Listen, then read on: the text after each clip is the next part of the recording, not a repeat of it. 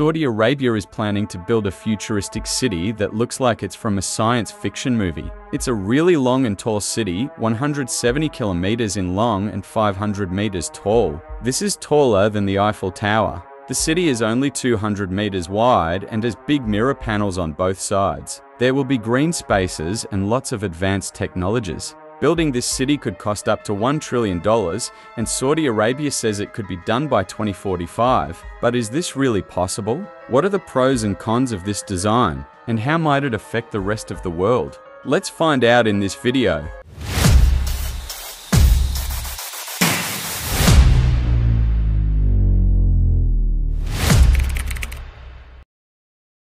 Whenever Saudi Arabia is mentioned, two things come to mind first desert and oil. Although it is true that most of the country is surrounded by deserts, a typical desert climate is seen in Saudi Arabia, where the temperature can reach up to 45 degrees during the day and gets very cold at night.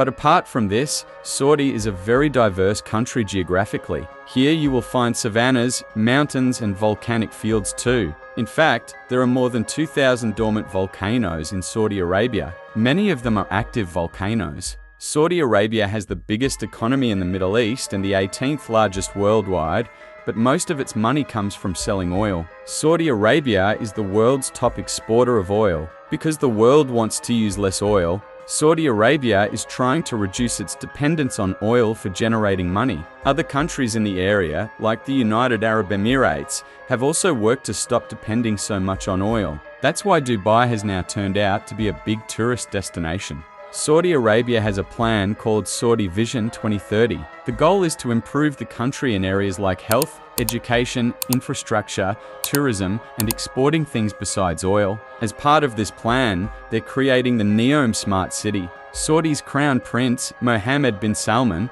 is putting a lot of effort into developing this NEOM smart city. NEOM isn't just one city, it's a whole region with many cities, resorts, and other projects. The entire NEOM area will cover about 26,500 square kilometers. It's located in the northwestern part of Saudi Arabia and north of the Red Sea.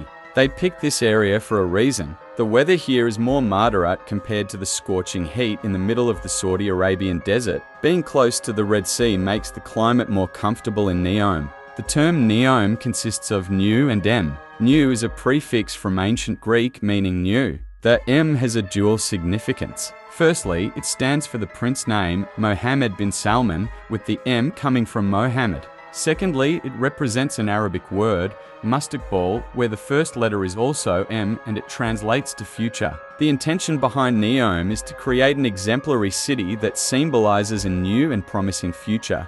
As per the developers, Neom will consist of 10 projects, each referred to as a different region. Details for four of these regions have already been revealed. The initial one is Oxagon, characterized by its octagon shape and serving as a floating port. This area is envisioned as Neom's advanced industrial center for the next generation. The second region is Trojena, set to become the Arabian Peninsula's primary outdoor skiing destination. It's scheduled to open in 2026, just three years from now. Notably, Trojena has successfully secured the hosting rights for the Asian Winter Games in 2029. Situated in one of the highest mountain ranges in Saudi Arabia, where winter temperatures drop to 0 degrees Celsius, it's interesting to note that the snow in this area will be artificial. This is because, naturally, there isn't much snowfall in this region, the third region is Sindalah, a lavish resort complex situated along the coastal outskirts of the city. With a capacity to host around 2,400 people, this luxury island spans 840,000 square meters and offers a plethora of activities. Notably, Sindalah is set to be the initial section of the NEOM project accessible to the public, with its opening date scheduled for next year in 2024. Next up is our fourth and perhaps the most astonishing project, The Line.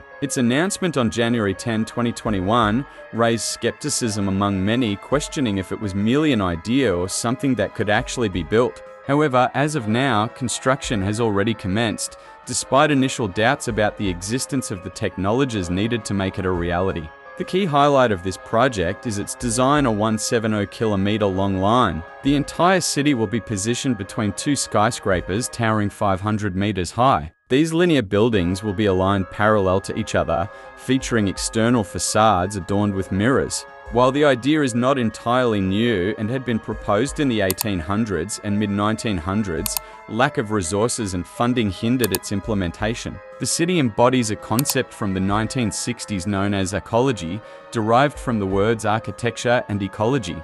In this field, architecture is employed to construct densely populated areas in cities with maximum efficiency and minimal environmental impact. The line, as part of this concept, is designed in a linear fashion to minimize damage to the surrounding natural landscape. With a width of only 200 meters and a length of 170 kilometers, its total area is just 34 square kilometers. Despite this, the developers anticipate accommodating 9 million people, equivalent to the population of New York City.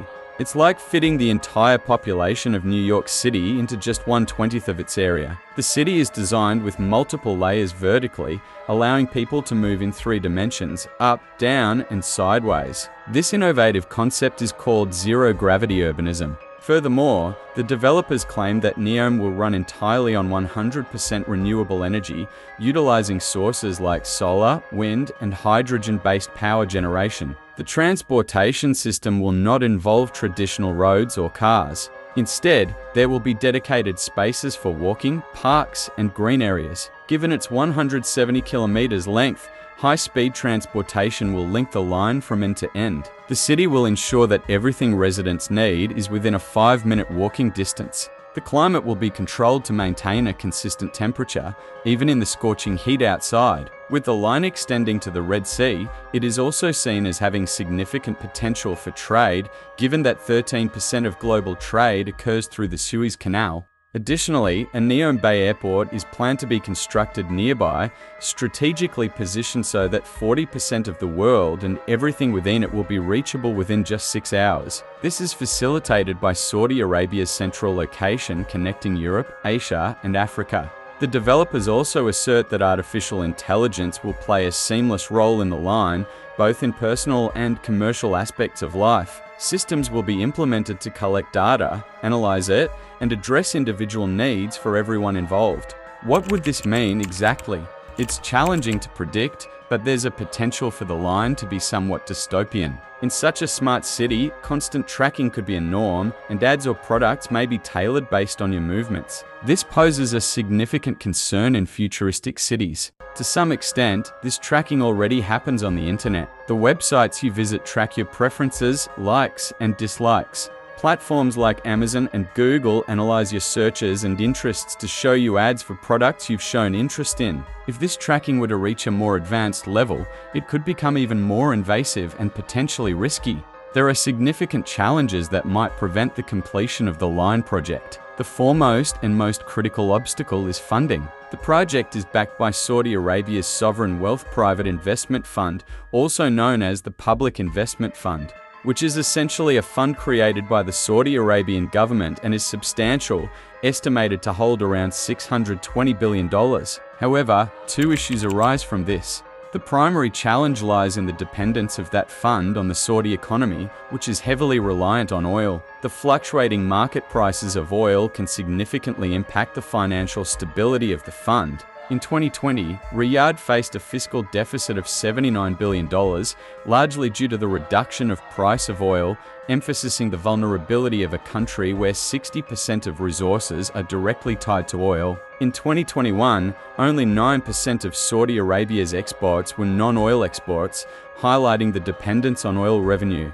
Even if the entire $600 billion from the fund is invested in the line project, it may not be sufficient. The original plan aimed to complete NEOM by 2030, allocating $500 billion for it. However, some reports suggest it might not be finished until 2050, potentially leading to increased costs. The estimated cost of the project may be risen to as much as $1 trillion.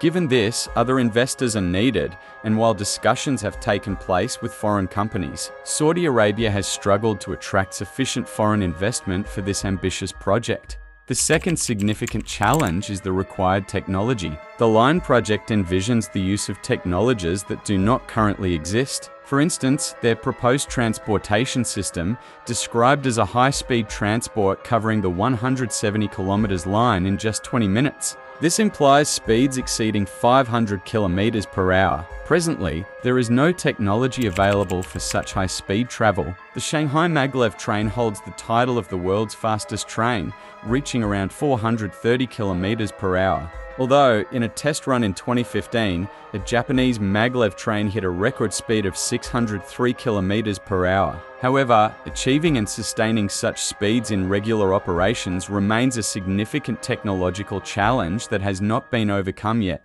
Likewise, the construction of 500 metre high mirrors, a unique aspect of the project, has never been attempted before. Creating such large mirrors over a span of 170 kilometres remain uncertain.